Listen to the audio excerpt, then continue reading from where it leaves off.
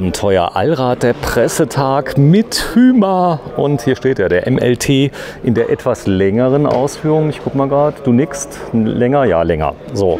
Er ist vorne foliert, matt, sieht unglaublich scharf aus. Es ist nämlich die Freistart-Edition. Und wieder mal mit mir ist einmal der. Bene. Hallo Bene. Und einmal die Simone. Grüß dich, Simone. Hi. Ja, ihr beide seid quasi Anfänger. Einmal bist du Anfänger im Bereich ähm, Camping. Nee, du kennst selber? Richtig, ja, mache ich. Schon lange überall, mal hier, mal da. Man sieht es ja bei dem, da kann man auch mal ein bisschen abwegig fahren, muss nicht zwangsläufig sich auf einen Campingplatz stellen. Also da kann man sich auch mal schön irgendwo an den Strand stellen oder an eine unbefestigte Straße. Und ja, genau. Und So, die Simone hat gesagt, ja, so ein, so ein Auto würde ich mir sofort kaufen, wenn ich das Geld hätte. Das Geld fließt in Strömen. Du machst gerade eine Modelkarriere mit. Ja, sind schon viele Buchungen da, dass du dir den kleinen Kaufpreis von 161.000 und 900 Euro leisten kannst. Ja, da muss ich noch zwei Tage arbeiten, aber dann habe ich's. Sag mal, er heißt Hümer MLT 580 2022, Freistadt-Edition 4x4. Hat der schon diese, diesen automatischen Allradantrieb? ja, richtig, genau. Das ist jetzt der erste, den wir hier umgebaut haben. Es ist auch ein bisschen gelogen, was hier drauf steht, muss ich sagen. Äh, Ganz ehrlich, es ist kein Modelljahr 2022. Wir filmen hier jetzt tatsächlich die Premiere vom Modelljahr 2023. Eben der neue Allrad, Formatic mit dem neuen 190 PS Vierzylindermotor. Wir haben hier, wie du gerade schon schön hingefilmt hast, auch die neue Hanma-Felge von Delta. Ziemlich cool auch mit unserem neuen Design, was dann auch passend zur Folierung ähm, des gesamten Fahrzeugs passt, mit diesem gelb-goldenen Ring.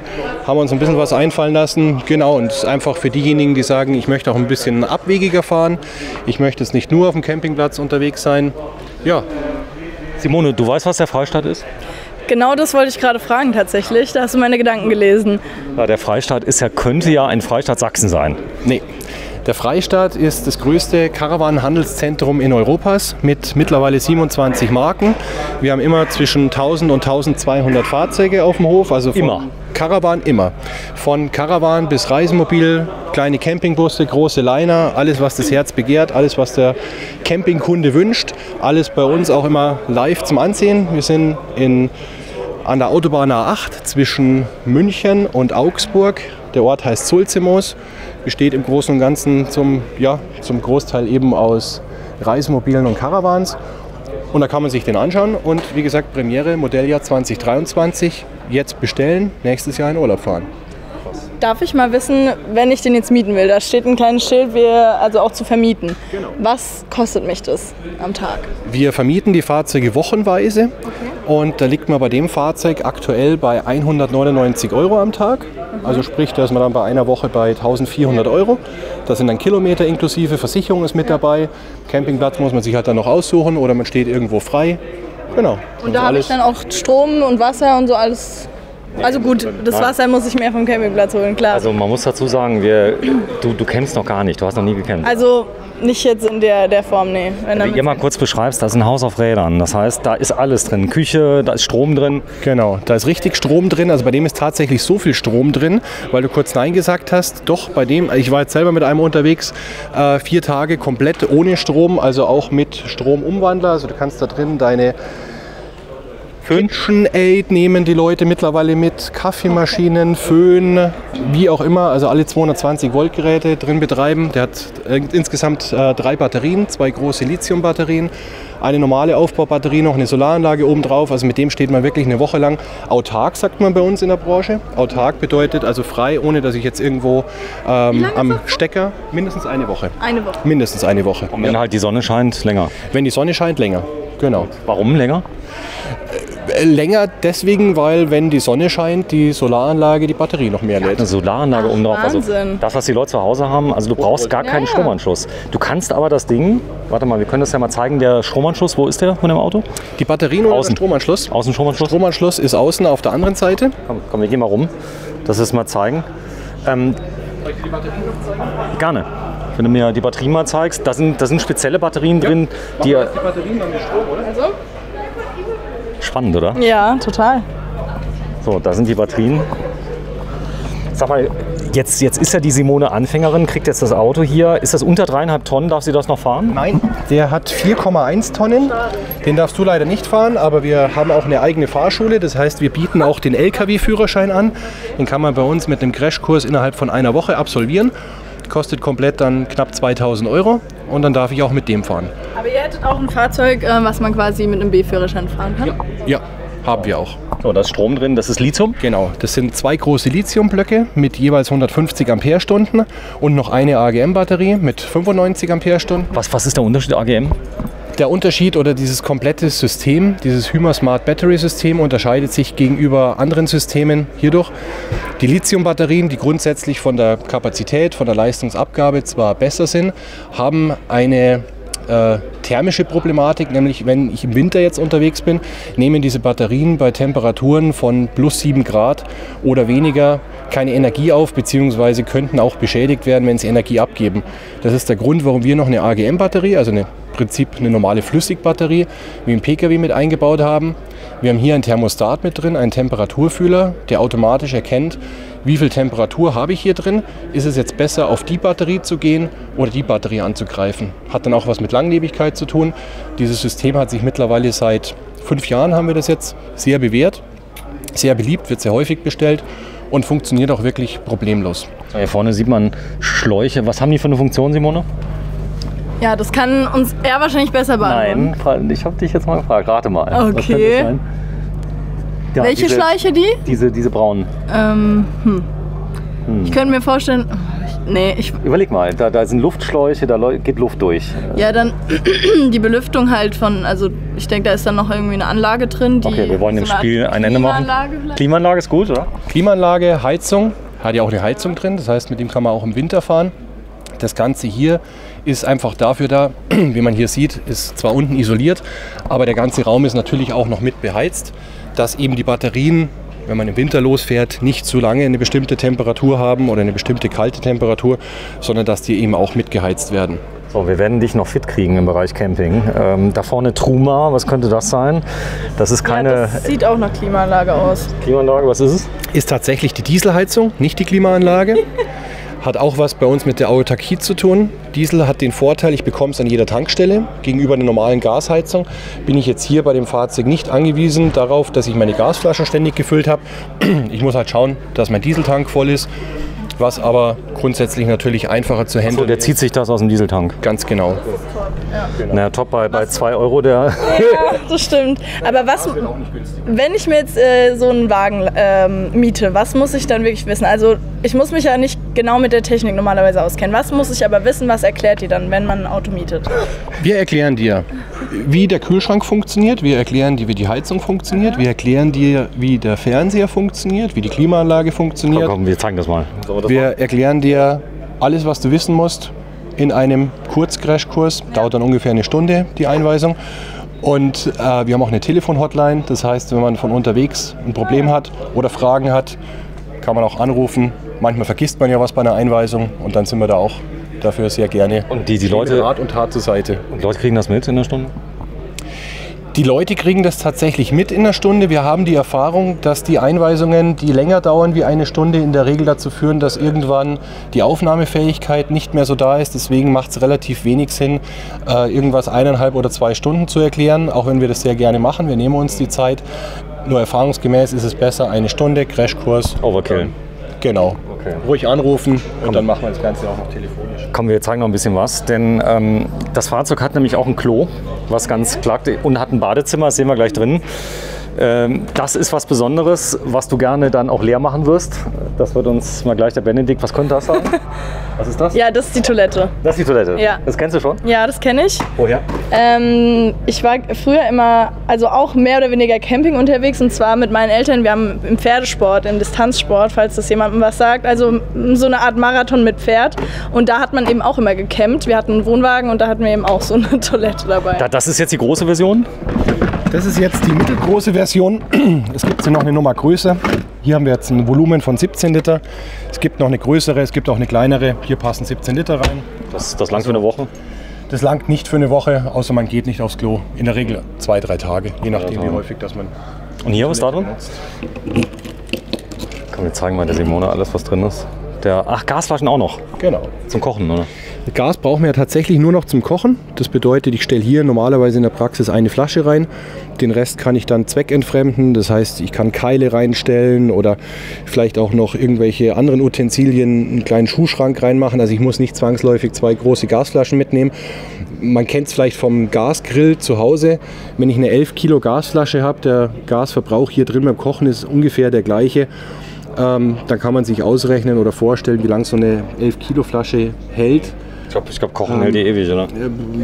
Wir haben bei uns in der Vermietung wusste ich jetzt nicht, dass wir die unter dem Jahr austauschen. Also in der Regel hält sie schon eine Saison. Sehr schön. So, da vorne ist ein Staubsauger oder was ist drin? Äh, das ist ein Abwasserschlauch. Wenn du jetzt mit dem über mal, die Sorgenstation fährst, du hast ja, also das, das Wasser von der Toilette geht in die Toilette. Wenn du jetzt drin abspülst oder wenn du dich duscht, dann läuft das Ganze in den Abwassertank. Das darf nicht einfach unten rauslaufen. Und wenn du jetzt über die Entsorgungsstation fährst, dann hast du zwar unten einen Auslass, Wo, wo ist der Auslass? nicht an jedem Campingplatz. Ich guck mal gerade. Äh, auf der versteckt, entweder hier oder auf der Anderen Seite. Seite. Genau, auf der anderen Seite. So, das, das wird aber auch gut erklärt. Das heißt, der Kunde, siehst du, es wird schon komplizierter. Es ist versteckt, es ist versteckt, deswegen muss ich selber gerade schauen, aber es ist auf der anderen Seite. Auf der anderen Seite. Und da ist es einfach so, wenn man jetzt nicht zwangsläufig über einer Entsorgungsstation gut steht, dann kann es jetzt sein, dass das Wasser daneben laufen würde und dass das nicht passiert, hat man hier eben diesen Schlauch, dann kann ich den draufstecken und dann kann ich auch einen halben Meter oder einen Meter neben der Entsorgungsstation stehen und es läuft trotzdem richtig in den Kuli rein. So, und das ist das Schlafzimmer von der Simone. Genau. Das ist nämlich so groß, da kann man drin schlafen. Ich glaube auch, ja. ja, Oder für den Begleiter oder die Begleiterin. Oder wenn der Freund oder die gut. Freundin mal nervt. Ne? Genau, nicht gut. da kann die da rein. Ach ja. Und da kann man zum Beispiel was reinmachen. Die meisten Leute nehmen tatsächlich ihre E-Bikes mit. Es ist Platz für zwei große E-Bikes, auch von der Höhe. Also wir haben eine lichte Höhe von 1,25 Meter, was für handelsübliche Fahrräder, E-Bikes oder auch für einen kleinen Roller möglich ist. Es passt dann noch rein Tisch, Stühle. Also wir haben zum Beispiel immer dabei unsere zwei E-Bikes. Wir haben einen Tisch dabei, wir haben zwei Stühle dabei, wir haben einen Gasgrill dabei, Luftmatratze, Kleinigkeiten. Genau, und dann ist die Heckgarage auch relativ schnell voll. Deswegen ist es auch gut, dass die so groß ist. Und das, was man braucht für eine Reise zu zweit, geht da alles. Bier, oder? Äh, Bier geht tatsächlich auch rein, ja. Das ist ähm, hier ein schönes Helles. Das ist unser Fernweh-Helles aus der Fernwehheimat Sulzimos. Ja, mal schauen, ob da heute Abend noch zwei Kästen drin Es sind. ist auch relativ kalt, wie du gerade feststellst. Ich zeig mal gerade was Schönes. Schlimm. Ihr habt einfach hier durch den Aufbau Schrauben gejagt. Richtig. Ja. Hümer ist einer der wenigen Hersteller, die einen Aufbau haben, der von der Verbindungssteifigkeit, von der Haltbarkeit, sieht man jetzt hier, was da hinten dran hängt. Also da hängen tatsächlich 80 Kilo dran mit Reserveradhalter. Äh, würde wahrscheinlich bei so manch anderem Hersteller oder bei manch anderem Aufbau nicht funktionieren. Zumal der noch anfängt, zu, sich, sich zu bewegen ein bisschen. bewegt sich, wenn man ins Gelände fährt, für was das Fahrzeug ja auch konzipiert ist, äh, dann wirken da natürlich auch nochmal andere Kräfte drauf. Der Vorteil bei unserem Aufbau ist, wir haben dreieinhalb Zentimeter PU-Schaum. Wir spaxen keine Platten zusammen oder äh, nehmen etwas Verbindungs-, weniger verbindungssteifes Material, wie jetzt zum Beispiel Styropor, sondern es ist geschlossenporiger Polyurethanschaum der nicht nur keine Feuchtigkeit aufnehmen kann, sondern extrem verbindungssteif ist. Sonst hätten wir so ein Fahrzeug auch nicht mit dem Allrad aufgebaut. Man muss ja einfach davon ausgehen, dass wenn ein Fahrzeug so genutzt wird, für was es konzipiert ist, dass es dann auch dementsprechend lange halten muss. Und die Erfahrung, die haben wir, dass das eben bei unseren MLT, wie er hier steht, mittlerweile seit acht Jahren auf dem Markt, sehr gut funktioniert. Die haben einen enormen Wertehalt. Heißt, wenn die Simone jetzt ihr Geld zusammengespart hat, In zwei Tagen dann? zwei Tagen, Ja. genau nach den Videos, ähm, Ich sage mal, es ist keine Immobilie. Also wir werden keine Wertsteigerung erfahren, man wird aber auch nicht viel Geld dran verlieren. aber sie werden immer teurer, muss man sagen. Also, der, immer teurer, ja. also ich sag mal, ein MLT habe ich früher vor acht Jahren bekommen, vielleicht für 100.000, äh, vor acht Jahren, oder? Ungefähr. Und heute liegen wir bei 100, 160, 170. Ja. Aber es ist auch mehr Technik drin, zum Beispiel diese Rückfahrkamera, ist das Serie? Die ist bei uns in unserer Freistadt-Edition Serie. Genau. Ist im Prinzip alles, was man jetzt hier an dem Wagen sieht, im Modelljahr 2023, Freistadt-Edition, alles mit drin. Das Einzige, was wir hier leider nicht drin haben, das haben wir vorher vielleicht nicht gefilmt, müssen wir noch mal hinschauen, ist, den Wagen haben wir leider noch nicht mit LED-Lichtern bekommen. Die Fahrzeuge, unser Sondermodell Freistadt-Edition Modelljahr 23, wird dann ausgeliefert mit LED-Lichttechnik. Wie gesagt, ist bei dem noch nicht mit drin. Und genau. Sie, sie macht mal kurz die Klappe auf. Mal gespannt. Sie hat eben zugeschaut. Nee, ist schon auf. Nicht drücken, nicht drücken. Nee. Achso, Entschuldigung. Sag mal, allein das, allein das Aufmachen von der Tür, wenn man das noch nie gemacht hat, ja. Da geht es jedem so. Bitte, bitte was? Das geht hier auch ein bisschen ähm, Dämpfer. die Automatik, ja. Hydraulischen Stoßdämpfer mit drin. Hat den Hintergrund, wenn Windstoß kommt, dass dir die Heckgaragentüre nicht aufreißt und dann vielleicht auch irgendwie ein Scharnier kaputt geht. Deswegen haben wir diesen Stoßdämpfer mit drin. Sehr gut durchdacht. Was du gerade überfilmt hast und ich möchte, da- das möchte ich gerne dir Betonen. noch zeigen, betonen. Wenn es außen mal richtig heiß ist, es wird in dem Fahrzeug auch heiß. Wenn man sich draußen abduschen möchte und man steht jetzt da irgendwo am Strand, dann habe ich hier mit kalt-warm Mischbatterie auch die Möglichkeit, mich draußen abzuduschen, ohne dass ich drin alles nass mache. Oder für diejenigen, die vielleicht einen Hund dabei haben oder ihre Sportgeräte, ihre Kites oder Fahrräder, wie auch immer, wenn man irgendwo gerade Offroad unterwegs war, kann man die auch ein bisschen abduschen. Eine Steckdose mit drin. Da kann man dann zum Beispiel, wie gesagt, die E-Bikes auch wieder laden. Funktioniert dann auch alles in Verbindung mit diesem Stromumwandler, wirklich, wenn man autark steht. Genau. Und Also hier siehst, vorne würde ich mir einen Schminkspiegel hinmachen, damit ich mich rasieren kann geht draußen. auch Schminkspiegel oder So. irgendwelche Haken, wo man irgendwas aufhängt, Jacken. Gibt Leute, die machen sich da ein Schuhregal hin. Gibt es verschiedene Systeme, also das ist dann wirklich individuell gestaltbar. Die, die Fenster, die drin sind, die sind jetzt aus Kunststoff. Ähm, Genau. Da läuft aber nichts an im Winter, oder? Da läuft nichts an im Winter. Warum nicht? Alles hinterlüftet, doppelt verglast mit Kunststoff und ist der komplette Möbelaufbau oder Innenausbau ist bei uns immer jedes Möbelstück so hinterlüftet bzw. mit Filz verkleidet, dass die Luft auch zirkulieren kann. Das ist immer sehr wichtig zu erwähnen, weil die Fahrzeuge ja zum Großteil von den Kunden nicht nur im Sommer benutzt werden, sondern eben auch dann, wenn es thermische Unterschiede gibt.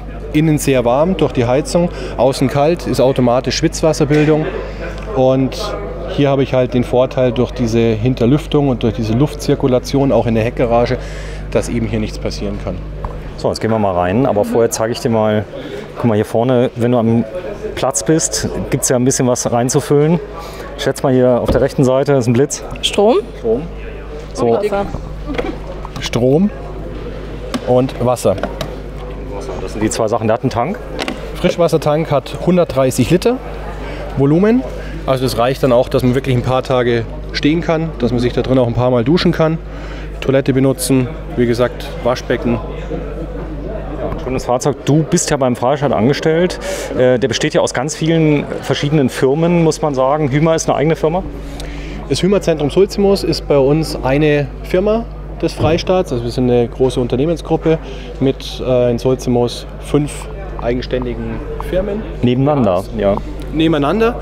Das ist das Schöne für unsere Kunden, wenn ich jetzt einen, einen Kunden hier bedienen darf, der jetzt sagt, okay, Allrad ist alles schön und recht, ist mir aber halt vielleicht ähm, ein Tick zu viel oder ein Tick zu groß oder manche sagen vielleicht auch ein Tick zu klein. Der muss jetzt nicht 100 Kilometer weiterfahren, sondern den schicke ich dann einfach zu einem Kollegen nach links oder nach rechts und dann kann er sich dort das passende Fahrzeug ansuchen. Also eine Win-Win-Situation für uns als Händler und natürlich auch für die Kunden, die nicht viele Reisen unternehmen müssen, um ihr Traumfahrzeug zu finden. Also wenn du Wann geht's da, ab welcher Preisspanne geht es da los? Also wir haben bei uns im Caravan-Bereich, also die Wohnanhänger, da geht es los bei knapp unter 20.000 Euro, die günstigsten. Ah ja. Und enden tut es bei uns bei den äh, großen Concorde Morelo-Linern. Da liegen wir dann am Ende des Tages ähm, teilweise schon bei der 1 Millionen Grenze. Genau. So, komm, wir gehen mal rein. Hier vorne ist so eine Einstiegshilfe.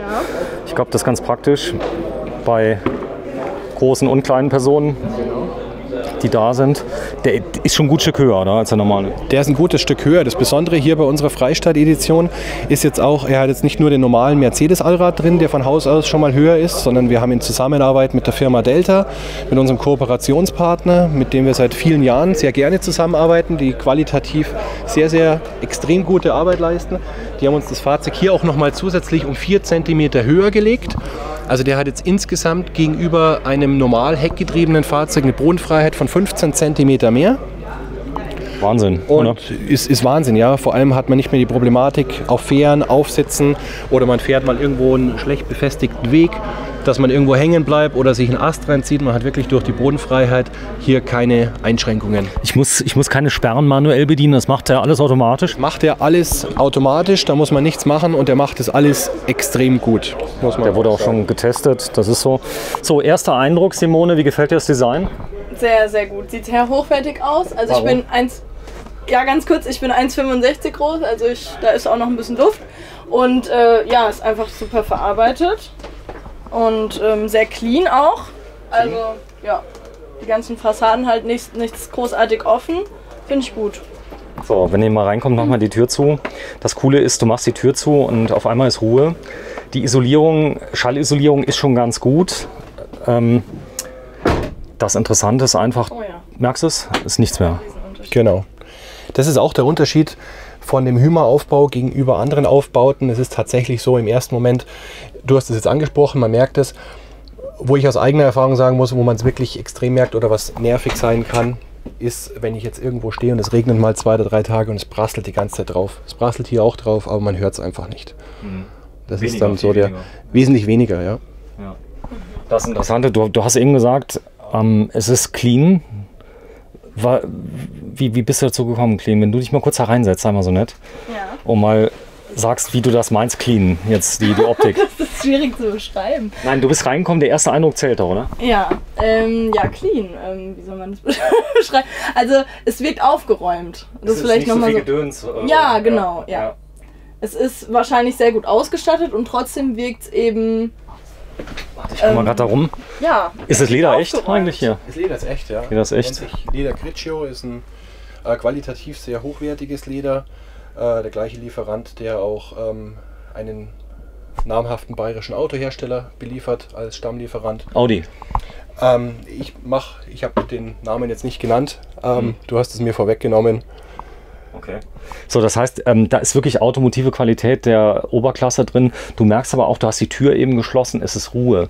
Ja. Und das hast du bei vielen Fahrzeugen nicht in der Klasse. Dafür ist er auch ein bisschen teurer. Dafür ist er auch ein bisschen teurer, dafür ist er aber auch ein bisschen werterhaltender wie andere. Hm. Und man hat viel Freude damit. Ja, das hängt an meinem Sitz. Natürlich hier das Fahrgestell Mercedes-Benz. Äh, viele auch Fiat Ducato. Ich fahre gerade einen Fiat, bin ganz happy. Mhm. Aber die Leute erwarten in einer gewissen Klasse natürlich auch, äh, ich sag mal, dass da Mercedes drunter ist. Es gibt ihn auch als Fiat, oder?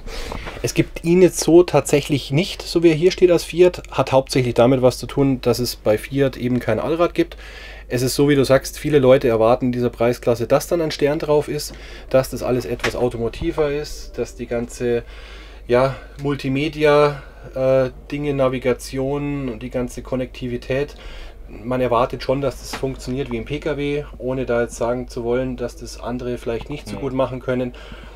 Es gibt seine Gründe, warum manche Hersteller dann in der Basis einfach etwas günstiger sind. Da zählt dann ein Fiat dazu, da zählt dann ein Citroën dazu. So Fahrzeuge gibt es auch. Die sind deswegen, wie gesagt, nicht qualitativ schlechter, aber sie können weniger, dafür kosten sie auch weniger. So, ich zeige das mal gerade hier vorne. Das ist die Küche. Ähm, man kann da richtig drin kochen. Ähm, viele gehen aber raus und haben so Kartuschenkocher, habe ich zum Beispiel im Einsatz draußen, wenn es spritzt und stinkt und ich mache mal einen Fisch, genau. da will ich das nicht hier drin machen.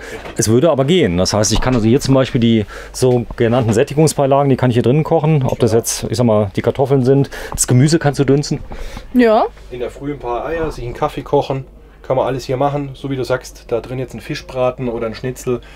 Ja, ist schöner, wenn man es draußen macht. Man kann zwar das Fenster aufmachen, aber so wie du sagst, die meisten nutzen es dann in der Regel eher mit einer Außenküche. So, die Camping-Erfahrung ähm, stellt sich ja dann ein, wenn spätestens das erste Mal der Wassertank leer ist, dass man vielleicht nicht äh, ihn immer laufen lässt. Genau. Oder die Heizung im Winter ausgeht, gerade bei den Fahrzeugen, die eine Gasheizung haben und keine Dieselheizung. Wenn in der Früh um zwei bei minus 20 Grad die Gasflasche leer wird, Mhm. dann stellt sich die Erfahrung ein, dass man sich vielleicht überlegt, ob das nächste Mal vielleicht nicht doch eine Dieselheizung die bessere Variante Es sei denn, die ist auch leer, ist aber immer noch so viel Sprit drin, dass ich wegfahren kann. Richtig, genau. Also da ist ein, ein, Ah, das ein wollte ich Relais jetzt auch gerade fragen, was passiert dann? Dann komme ich ja nicht mal zur Tankstelle, wenn. Nee. Also, nee, ist dann nicht so, okay.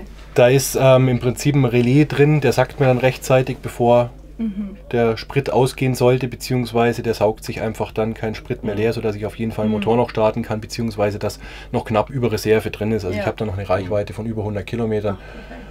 Genau. Eigentumswohnung auf Rädern, das beschreibt es, glaube ich, richtig mit Kühlschrank. Du stehst gerade davor. Genau. Riesen Kühlschrank, Oh, du dich mal ja gerade wirklich groß, ja. wenn du dich mal gerade daneben stellst. Das Ja. ist nämlich interessant, der ist, ist erstmalig größer als du. Tatsächlich, ja. Ja, es ist so, äh, du könntest da jetzt bequem drin Platz nehmen. Er geht aber nicht ganz bis auf den Boden, Nee.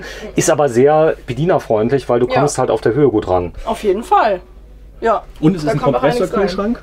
Was, was äh, heißt das, Kompressor? Kompressorkühlschrank ist gegenüber dem normalen Absorberkühlschrank auf Strom gesteuert. Nur auf Strom.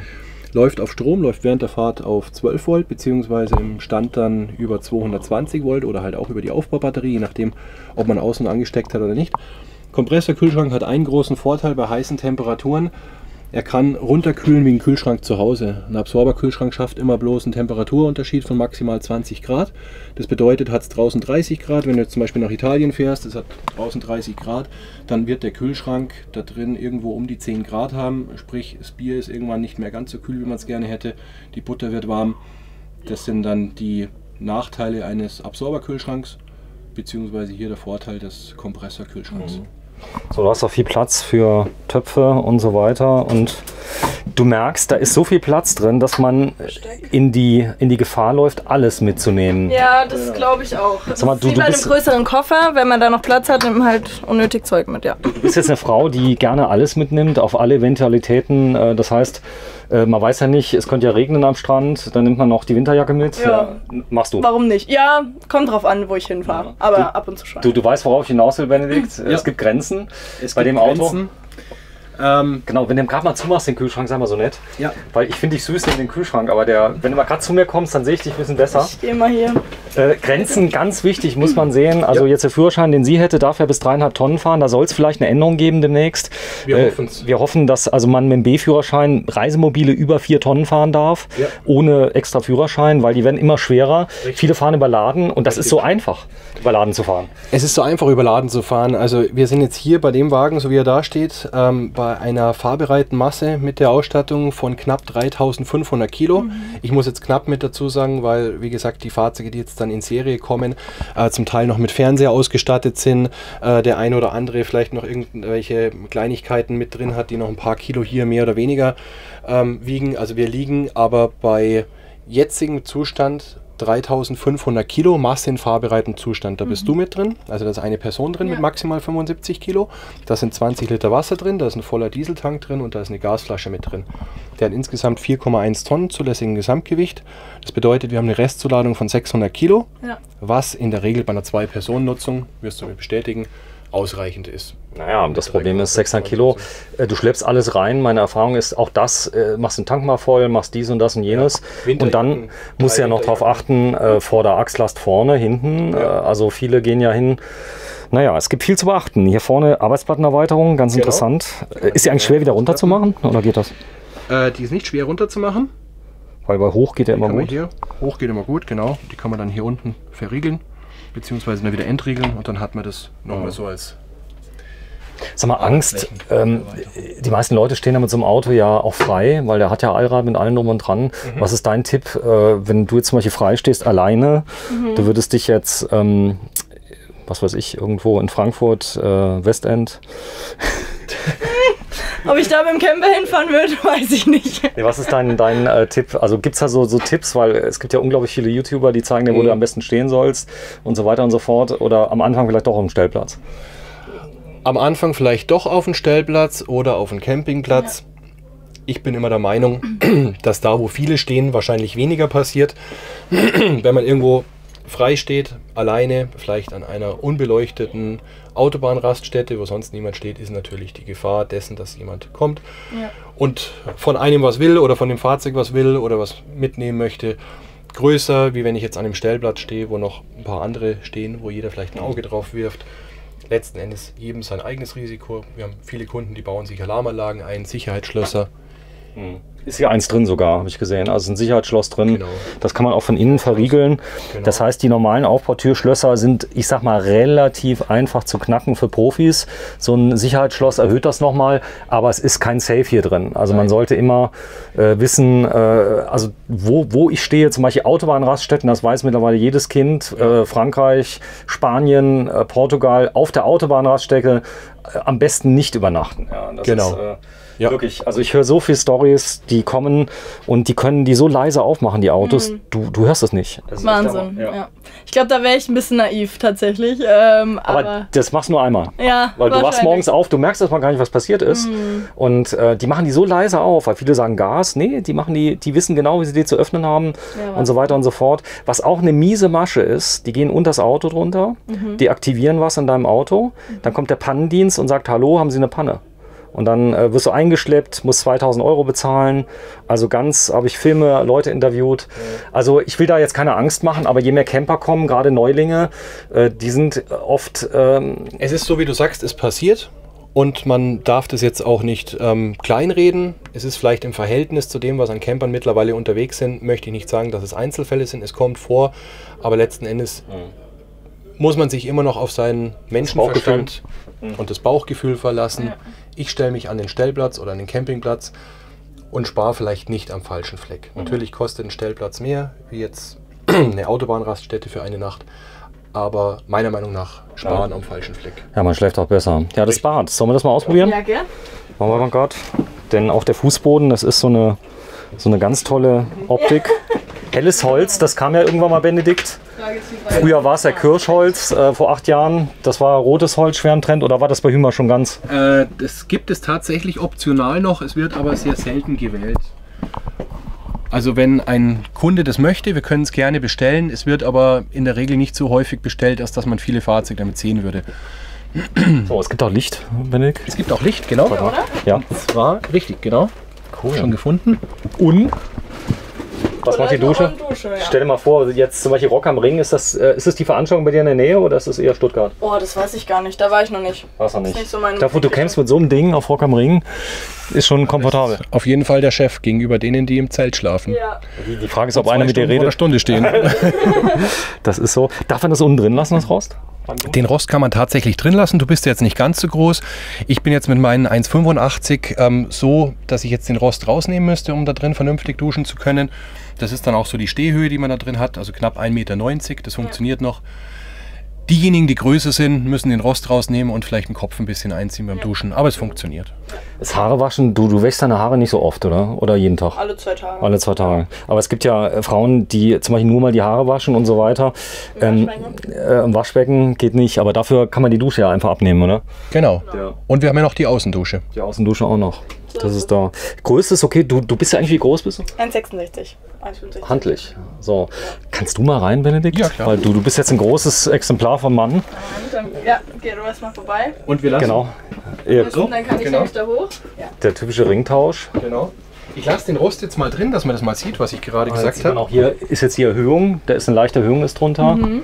So, und der Benedikt. Also ich bin jetzt mit meinen 1,85, wie gesagt, ich stehe jetzt hier an dem Zwangs, an der Zwangsentlüftung dran. Der Rost unten macht knappe 10 cm aus. Und die Also- Schuhe auch nochmal drei, vier. Genau. Und aus eigener Erfahrung, also ich bin auch sehr viel mit einem MLT 580 unterwegs. Ist auch mein persönliches Lieblingsfahrzeug. Wir haben auch einige davon in der Vermietung, sodass ich da immer die Möglichkeit habe, ähm, mir einen dann auch zu nehmen. Und wir haben halt hier, wenn das Ganze zu ist, natürlich schon immer die Thematik. Ich bin jetzt nicht der schlankeste, ich bin Mach mal nicht der, zu. der breiteste. mal sehen. Da müssen wir den Rost einmal rausnehmen dazu. Das ist gleichzeitig auch die Sicherung, gell? Für den. Das ist gleichzeitig die Sicherung, dass er während der Fahrt auch nicht hin und her rutscht und hin und her klappert. Okay. Ich kann das Rost aber auch zu Hause lassen, wenn ich keinen Bock habe, oder? Richtig. Dann. Weil viele, viele, die gehen zwar hin, benutzen die Dusche gar nicht, wenn sie am Platz stehen. Wenn ich regelmäßig drin dusche oder jeden Tag und auch noch die Größe habe, so wie ich, dann würde ich den Rost einfach zu Hause lassen. Dann geht er auch nicht den Weg um.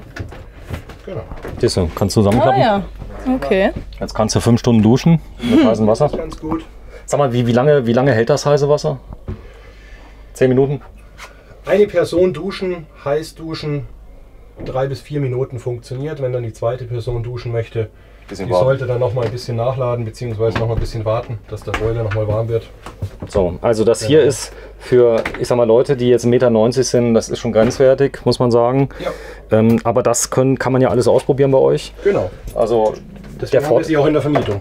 Kann man auch erstmal das ist auch sowieso ein Tipp von dir. Ruhig mal mieten. Genau. Äh, also die Fahrzeuge ausprobieren, tun das viele? Sehr viele.